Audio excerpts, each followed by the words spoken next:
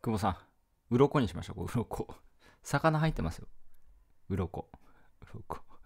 こう、鱗のこの隣の漢字って何になるんだ？鱗？鱗？うん。これ、隣のちょっと難しいですね。うん。そう。まあ、人間って鱗ないですよね。そう。鱗ね。なんかあの、鱗っていろんな機能があるじゃないですか。で、人間って鱗がないですよね。だ鱗があるから多分、水の中でも多分生きられるんですよね。鱗なかったら多分、魚で鱗ない魚っていんのかなまあ、な、な、中にはいるかもしれないですけどね。人間って鱗ないですよね。うん。だからまあ何かっていうと、あの、人間の方が知的、まあ知恵はあるんだけど、魚の方が優れてるっていうね だから、鱗をね、身にまとわないといけないですね、僕たちは。それが知識っていう鱗なのか、まあ、その筋肉。だから、その、最近、今年、まあ、その、在宅ワークになってから特に増えたかな。まあ、運動不足みたいなね。で、今、その、筋トレブームなんですよ。筋トレブームあのね、久保さん、あの、中山きんに君いるじゃないですか。中山きんに君ね、今、チャンネル登録、中、これ今ね、チャンネル登録な、何万人だ ?150 万人ですね。なんか昔、その中山きんに君って、なんか筋肉バカみたいなね、あのー、すげえなんかいろいろと言われてて、筋肉オタクみたいなバカみたいに言われてましたけど、今引っ張りだこですね。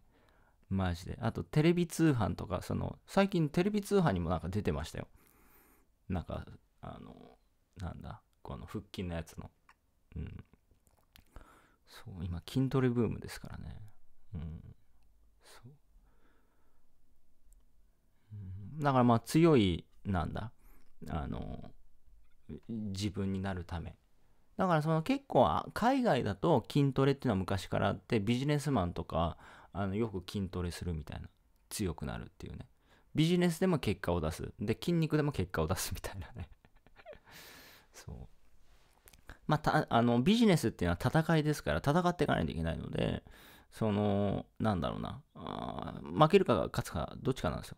ライバル会社に勝つか負けるか。もう取り合いですから顧客の。要はそのお、客数っていうのは全世界で大した、まあ、人口増加はしてるけれども例えば日本のマーケットで言うならば、まあ、日本だったらまあ減少してますよね。なんかいきなり3億人とかなってないですよね。だからもうパイの奪い合いないんですよ。だから YouTube もあの言われてますけどももう再生数はもうもう限界値があると。まあ、日本の中で行くんだったらね、もちろん英語圏に向けたら、まあ、もっとリーチはいきますけども、やっぱ限界はあると。うん、それは、それは限界ありますよね。うん、だって、人数がね、あの、いないわけですから、そもそも。うん。で、その中で勝っていかないといけないわけですから、うーん、なんか、自分の強みだったりとか、自分の武器だったりとか、自分のなんだろうな、ライバルとの違いですよね、を出していかないと、うん、ダメかなと思いますね。うん。だからなんだろうな。魚は生まれた瞬間から鱗あるけど、人間は鱗ないんで、鱗作っていかないといけないですね。うん。もうその鱗がどんな鱗かはあなた次第ですけど。そう昔ね、中山きんに君はいろいろ叩かれてたけど、今は引っ張りだこっていうね、何なんでしょうね。そう、なんかバカにされてたわけですよね。筋肉バカみたいな。昔結構バカにされてましたよ。中山きんに君って。うん。でも今はね、もう引っ張りだこですね。100万、150万人いますからね。すごいですよね。これはすごいなと思いますね。ザ・筋肉 TV。ザ・筋肉、筋肉 TV。すごいな。うん。いってらっしゃい。